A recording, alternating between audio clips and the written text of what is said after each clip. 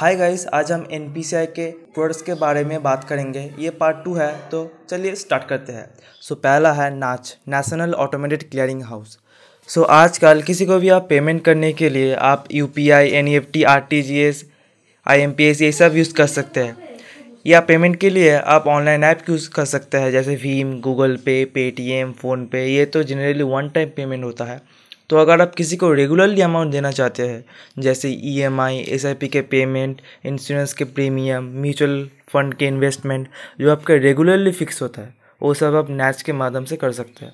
आप बैंक में जाके अपना नाच का फॉर्म फिलअप कर सकते हैं। नाच का प्रोसेस सिंपल है। एक फॉर्म से मिलेगा, उसको आप फिलअप करना पड़ेगा। दस दिन में अंदर आपको अप्रूवल मिल जाएगा। और इस समय में तो ई नाच भी आ गया है, जो पूरा डिजिटल प्रोसेस है जो आपकी पैन कार्ड और आधार से लिंक होने के बाद within forty eight hours में सब कुछ कंप्लीट हो जाता है। एनपीसीआई पूरा नैस सिस्टम को संभालती है। इसके बाद आता है national electronic toll collection so basically toll plaza में किसी दूसरे जगह में जाने के लिए आपको टैक्स पे करना होता है।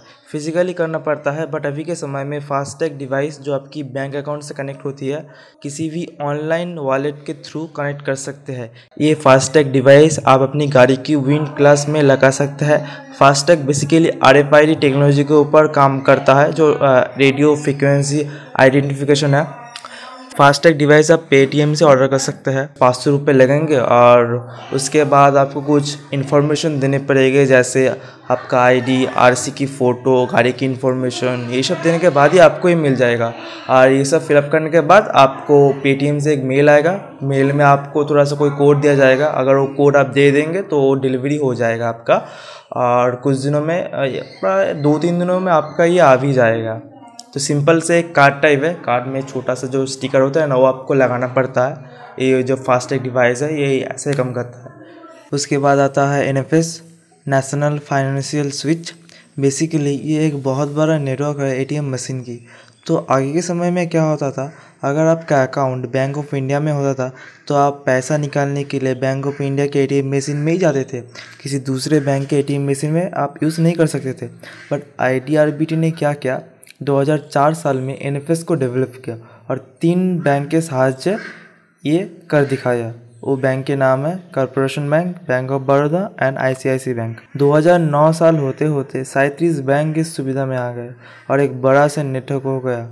अब आपका अकाउंट किसी भी बैंक में होना क्यों? सभी एटीएम से पैसा निकाल सकते हैं। और एक बात बोलना चाहता हूँ ये जो आई ने है, वो एन को बेच दिया था एनपीसीआई को, और तब से आज तक सब कुछ एनपीसीआई संभाल रहा है। उसके बाद आता है रुपये कार्ड।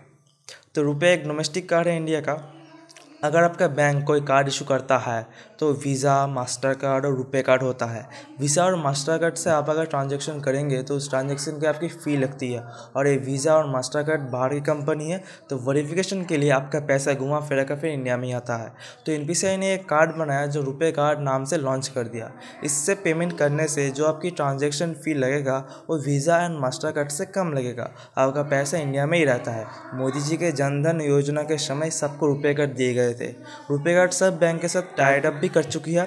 रुपये कार्ड इंटरनेशनली उतना नहीं चलता बट इसका जो रुपये प्लेटिनम कार्ड है, वो इंटरनेशनली चलता है कुछ जगह पर। अगर आप इंडिया में रहते हो तो आपके लिए रुपये कार्ड ही बेस्ट है। उसके बाद आता है यूपीआई यूनिफाइड पेमेंट इंटरफेस तो यूपीआई के साथ आप सब तरह के पेमेंट कर सकते हैं। किसी दूसरी इंसान को भी पैसा सेंड कर सकता है। यू एक inter bank account money transfer system है। आपका जो मनी है, वो इंस्टेंट ट्रांसफ़र हो जाता है। आपको इस यूपीआई को यूज़ करने के लिए आपका अकाउंट जो बैंक में है, उसका यू ऐप प्ले स्टोर से डाउनलोड करने के बाद, उसको ओपन करने के बाद एक वर्चुअल आई आईडी तैयार कर लीजिएगा। उस आईडी में आपका सब डेटा स्टोर होता है। आप यूपीआई से किसी को भी पैसा सेंड और रिसीव कर सकते हैं। यूपीआई का ट्रांजैक्शन लिमिट है वन लाख पर डे और इसकी जो ट्रांजेक्शन फ़ी है, वो पचास पैसे है और टेन ट्रांजेक्शन पर डे आप यहाँ से कर सकते हैं। इसके बाद आता है एक unique number star nine nine hash U S S D ये भी और एक तरीका है पैसा भेजने के लिए, जो एन पी सी आई ने बनाया है। इस नंबर को आप जिस किसी भी फ़ोन से डायल करेंगे तो उसके बाद कुछ इन्फॉर्मेशन के बाद ही, कुछ इन्फॉर्मेशन देने के बाद ही आप किसी को भी पैसा भेज सकते हैं इस माध्यम से। बस वो नंबर बैंक अकाउंट से कनेक्ट होना चाहिए। इसमें क्या होता है, आपका जो डेटा ट्रांसफ़र होता है, वो बहुत ही सिक्योर है मतलब इनक्रिप्टेड है। मान लीजिए आप इंडिया के जहाँ पर भी होना क्यों, आसपास में जिस टावर से आपको नेटवर्क मिलता है, वो मान लीजिए वोडाफोन या टेल आइडिया का हो।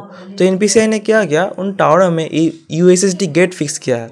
उससे क्या होगा, आप जी, आप जब भी इस नंबर से डायल करेंगे और नेटवर्क सीधा एन के सर्वर में चला जाएगा। वहाँ से इन्फॉर्मेशन एक्सेस करके आपकी जो पेमेंट है वो सक्सेसफुल होती है। बाद में इस star nine nine hash use के ऊपर एक डेडिकेट वीडियो बनाऊँगा। चलिए आज के लिए बस इतना ही। चलिए धन्यवाद।